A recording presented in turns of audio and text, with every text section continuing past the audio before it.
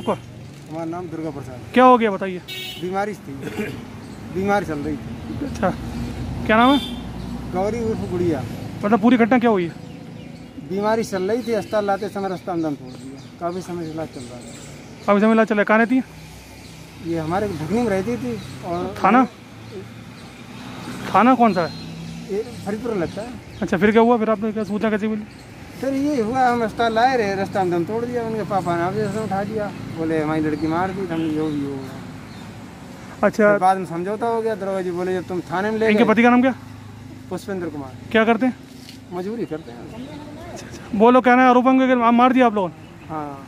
अच्छा तुम बच्चे भी देंगे बच्चा कोई नहीं था चार पाँच महीने थे। अच्छा पेट से नहीं?